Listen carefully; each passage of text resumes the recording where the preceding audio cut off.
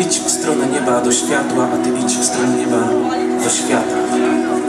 Utwór, który przeleżał w moim, w moim biurku kilkanaście lat.